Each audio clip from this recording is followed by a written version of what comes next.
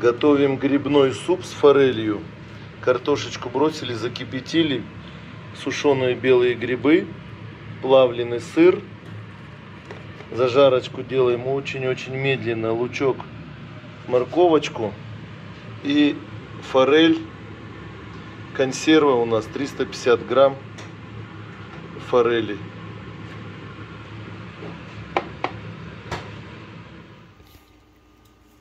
Добавляем плавленый сыр. Картошка почти сварилась. Добавляем форель.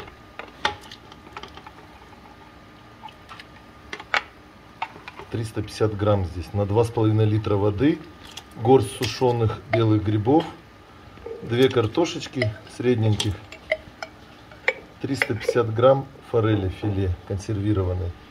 И вот посмотрите сюда вот эта зажарочка, вот она уже, смотрите какая, она томилась у нас, нежно-нежно томилась.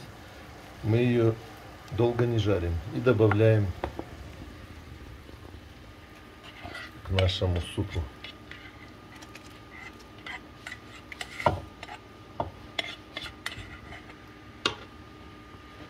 Даем закипеть. Будем проверять на готовность.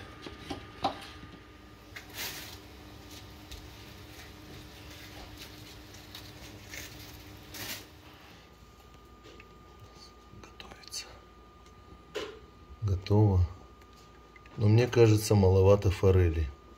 Поэтому мы берем еще одну баночку консерв из форели. И добавим еще одну банку. Мы же для себя делаем.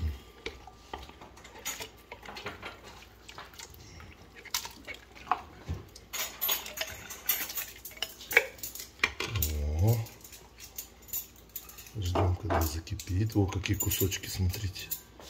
Угу. Аромат.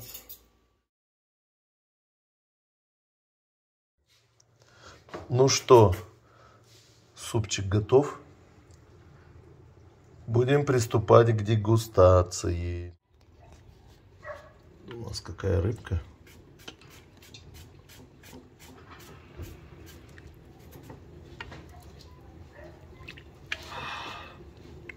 Где грибочек наш? Где грибочки? Еще рыбка.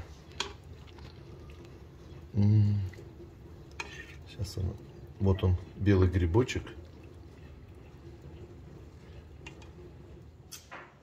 Приступаем к дегустации. -м. Белые грибочки. М -м. Мы еще досолили э, чуть-чуть и перчика черного добавили.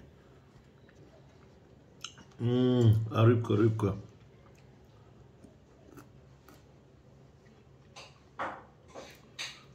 Но вот это вот бульон,